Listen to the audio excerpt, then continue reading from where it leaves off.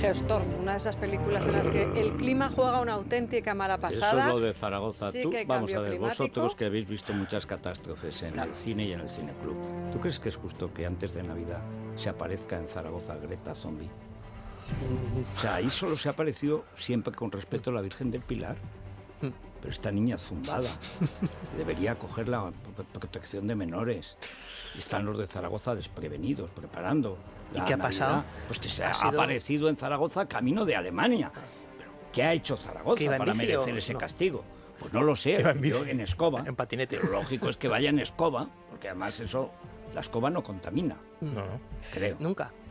De- No, yo no lo he visto, ¿no? ninguna echaba humo en... La de Harry Potter no, No, ninguno no, no, pues echaba humo, ¿no? Nada, la Nimbus 2000 no echaba, eh, creo que era eh, etiqueta eco, me parece. Etiqueta verde.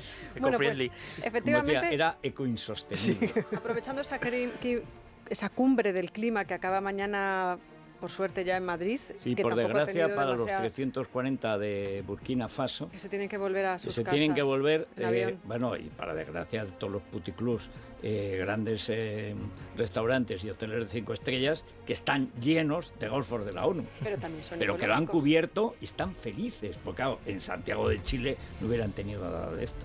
Bueno, pues ¿qué películas eh, hablan de esos cambios climáticos que realmente acaban con la especie humana? Empezaríamos, por ejemplo, por La aventura de Poseidón, que se considera la primera película del género de catástrofes. En este caso es un transatlántico arrollado por una ola gigante y todas las aventuras que suceden dentro con el barco invertido. El barco Mundo está al dando la revés. vuelta, Eh, efectivamente. Pero de las que han mencionado nuestros tuiteros tenemos, por ejemplo, Waterworld, que es verdad que se produce ese deshielo de los casquetes polares y entonces Kevin Costner, Kevin Costner no de Jesús iba a decir, como ya lo tengo interiorizado, Sí, sí. Kevin Costner se pasa el día combatiendo por, por agua, humedad, por agua sí. que se pueda beber. Twister es otra de esas películas en las que en este caso son los tornados los que, aunque son fenómenos relativamente habituales, Bueno, en Estados Unidos es son cierto que en este caso se les va, se les va. Un pueblo llamado Dante's Peak, un volcán, tenemos ahí haciendo erupción y dejando a todos los habitantes absolutamente sepultados. Bueno, y, y los luego últimos días de Pompeya. el también, Ah, sí, efectivamente, claro. más clásica. En el día de mañana, acordaos de cómo suena esa ola, que además tiene momentos épicos de parejas que se miran diciéndose su Adiós, último adiós, adiós. cuando la ola les va a hacer polvo.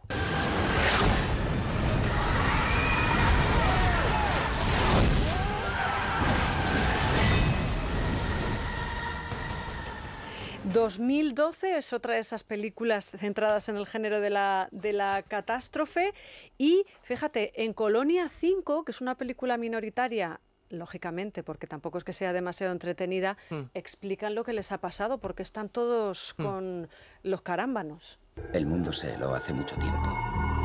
Tanto tiempo que ni recuerdo el calor del sol.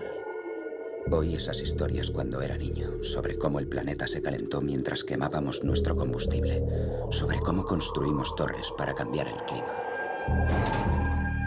Cuando la comida empezó a escasear, los afortunados encontraron lugares como este, donde la vida podía Esa sería la existir. definición de- del, ¿Os acordáis del que el famoso calentamiento del clima climático antes era helamiento?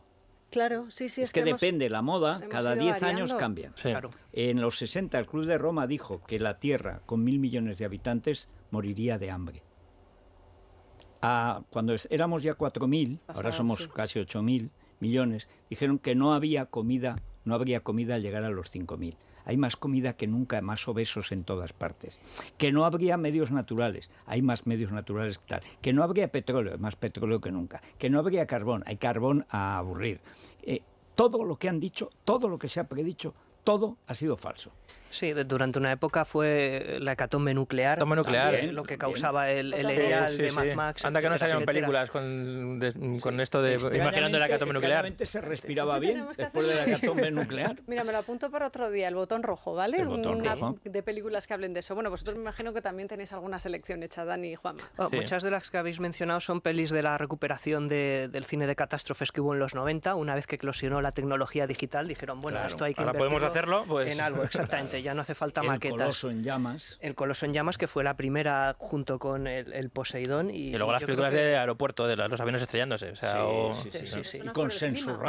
Exacto, que coincidió sí. con el Sensurround. Eso es por aquello- la- eh, porque el hombre es idiota, pero no por el clima. no, por el clima, no, no. el bueno, hombre- el es tonto y, y empeora con el tiempo, o sea, sin duda. Sí, lo- en Soy Leyenda no me acuerdo qué causaba eh, que solo Sí, era como una especie, de, una especie de virus, sí. Era un virus, era un virus, vale, no, no era una hecatombe eh, climática, pero bueno, hay muchas. Hace poco Matt Damon hizo una que no tuvo ninguna repercusión, la dirigió Alexander Payne, que es un director de prestigio, que era una vida a lo grande, eh, los recursos escasean eh, y existe la tecnología necesaria para encoger a las personas, de, de modo que lo que consumen es, es mucho poco. menor, exactamente. Anda. Entonces era una cosa interesante, era una película que tenía buenas ideas mm, y nadie la vio.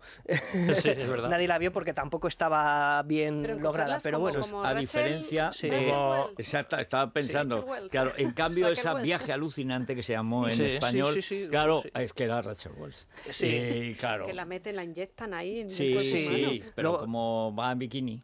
Luego yo, yo vi el, hacen el- bikini sí, nadando por el plasma. Hombre, por la comodidad, por la comodidad. el- el remake inconfeso que hicieron en nuestra Sí, década fue el, el el Chip Prodigioso. prodigioso, Sí, donde sí. metían a Dennis Quaid, que era un militar, y, No y se producían. Raquel No, mejor No, no. hombre, no, no es lo mismo. Mejor la otra, otro Toda la peli esperando que pase el plazo y cuando se haga grande, aquello Que reviente, explote. ¡pa! Por lo Claro. menos lo que tenemos Sí, sí, Zombieland. Sí, sí. Luego Waterworld yo la recuerdo muy graciosa. Esa película... Siempre la defiendes, Juanma, esa película, ¿eh? Es que tuvo una mala fama que tampoco era merecida y se metieron con ella simplemente porque el presupuesto se desmandó. Vamos a ver, se desmandó, pero ¿y a ti qué te importa como espectador? ¿no? También se desmandó Cleopatra y está por muy ejemplo, bien.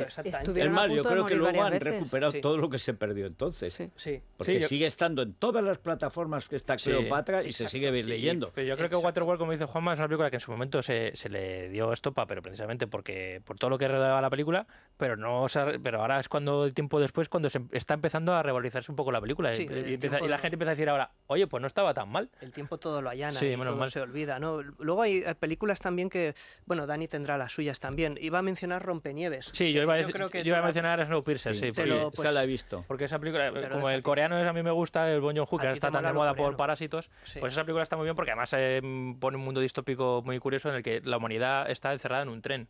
Sí. La- el planeta está helado, entonces la- los, los únicos so- sobre- supervivientes eh, viven en un tren y los, cada vagón, digamos que te, te marca un un, poco, grupo es un social. Tiene, tiene su gracia, la verdad. Y también está producida por un fenómeno climático, ¿no? Sí, claro, la, la Tierra está eh, totalmente congelada, es una glaciación. ¿Ves? Es que es más enfriamiento que calentamiento global. sí, sí, ¿Sabes sí. por qué? Porque es que en el calentamiento, que sería como máximo de dos grados, simplemente iríamos en camiseta. Y eso no se puede admitir. Tiene que ser una catástrofe total que no Claro. te deje vivir. Sí. El clima ha cambiado tanto que en Teruel había dinosaurios.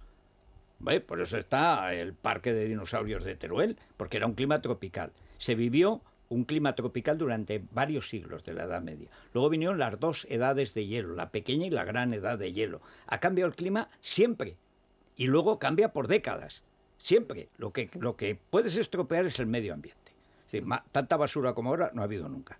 Pero eso, con no hacer basura, se Y con hacerlo cada uno en nuestras propias casas día tras día. Bueno, pues Mira, Wally A ver. puede ser una película también eh, de la basura, claro, Sí. es verdad, el robotito empezaba la película, era un robot barredor. Sí. O sea, Sí. barría toda la porquería que habíamos dejado. Y Pues eso fíjate estaba- que nos vendría muy bien en Madrid. Sí, que sí. está mejorando, ¿eh? Está mejorando, está Mm, mejorando, pero es que dejó muchos escombros. la Claro. Yo veo un. Wally por la acera y me lo llevo a casa.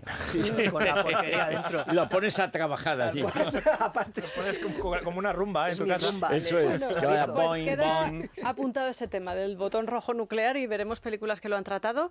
Y ahora nos Eh, eh, vamos no, a tomar Dani nos tiene que decir alguna Sí, más. ha dicho la ya- del rompehielos, Pero ¿no? He dicho rompehielos, eh, pues mira, cualquiera de Mad Max son películas también Sí, postapocalípticas verdad, y y, sí y relacionadas con el cambio climático. Mm.